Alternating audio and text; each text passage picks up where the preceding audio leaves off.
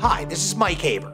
Thank you for asking me what is a minor in possession charge or an MIP?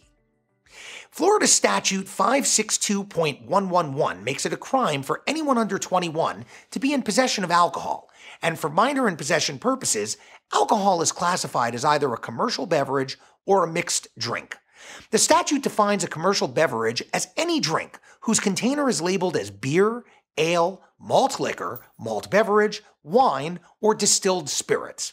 And for MIP purposes, a mixed drink is defined as being any distilled spirit or beverage containing one half of 1% or more alcohol by volume.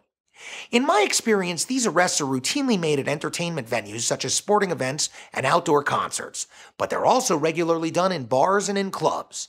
Not only are uniformed officers on the lookout for MIP drinkers, but undercover cops are almost always scouring crowds just looking for kids with booze, be it bottled or in a red cup.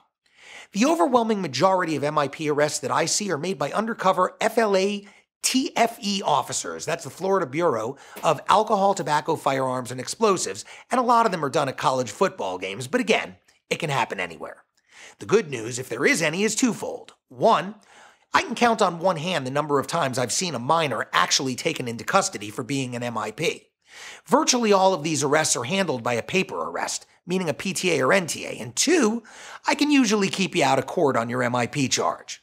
Thank you for your question. I appreciate your having asked it, and I invite you to ask me more.